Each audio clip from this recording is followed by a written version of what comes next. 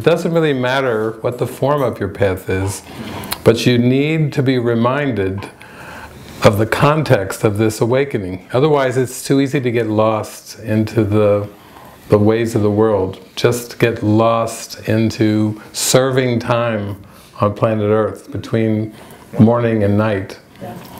Working a job, doing all the things you have to do, survival, and trying to pack in some excitement to counteract the boredom of the human condition. We're not going to let go of this deep undercurrent that has to be brought up. You know, we're going to expose the shadow every day and get into the joy of exposing the shadow. Start to see that that's actually the point of all of our relationships is exposing the shadow. Even friends can't help you in this journey unless it's the purpose underneath the friendship that's for awakening. And we've all had that experience when you come to some really important points in your life, there's crossroads, and friends can, can either speak from the ego or they can speak from the spirit. They can speak from fear and say, be careful, that's dangerous.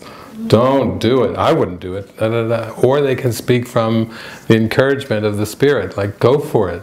I'm right there with you. I'm right behind you. You see, that's why we have to so get in touch with the spirit. We need this mind training. We need this focused programming of transferring our thoughts from attack thoughts to those thoughts of joy that are that are underneath. The thoughts of joy and love are always there. They're still in our mind, but they're so covered over by these attack thoughts that we have to have that. And really, that should be your your question in terms of relationships, like who's in your life, who do you surround yourself with on a daily basis, It's like, do they support your awakening?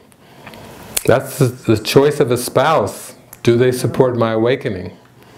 Forget all the ego reasons for having a spouse. Forget all the ego reasons for having a boyfriend or girlfriend. Do they, will this support my awakening? Are we in agreement that there's a mirroring going on here? Are we in agreement that we have, a, we share a huge need to have this darkness exposed? And you see how much faster it's going to go when you have that agreement. And if you don't have that agreement, then you're still playing the game. Did I do enough or will you leave me? you see, it's, it's still pressurized, it's still dependent. And also this idea that relationships have to be so fixed. I'll let you in on a big secret. People aren't really people. What? They aren't. really. People are thoughts. People are thoughts. And when we start to think in terms of relationships, we put a lot of pressure onto maintaining something. But imagine if you had a very dark negative thought that just kept showing up in your life over and over and over. You know, then you have to start to say, if people are thoughts, then why is this thought reoccurring in my mind and in my dream? You see, because it's it's obviously there because it's still desired. If desire is our core, we must still want it, even if we're not consciously aware of it. We must still want it, and therefore that's why it's so important to be able to speak it, to say, "This is what's important to me in my life. This is what I want in my life."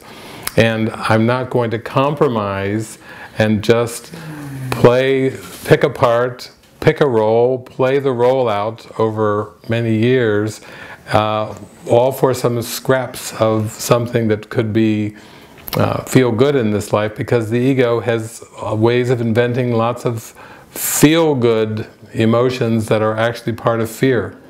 And when we stay addicted to those feel good emotions that are part of fear, we stay addicted to the fear itself.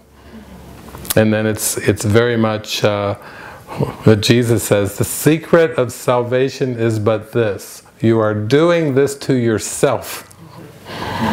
That's, it can seem like tough love, but it's actually wonderful love. It's actually saying, no, this is the law of karma, this is the law of All that I give is given to myself. Giving is receiving. You know, it's, it's the divine law that's being exposed to our mind, which everything operates out of. So we're not, we're not an exception to that divine law. And therefore, it harkens us back to the Bible as you sow, so shall you reap. That's a pretty important divine law. Once we understand that it's going to free our mind and not imprison it. If, it's, if we give it over to the ego and we just say, well, I believe in the ego, I believe in fear, so I'm destined to be fearful, then that's saying that you are you have no choice but to be an ego, but an ego is not who we are. We're divine love. So when we give ourselves focus over to that purpose, healing, forgiveness, then we draw forth those witnesses. So this is amazing stuff because it's very free. For your heart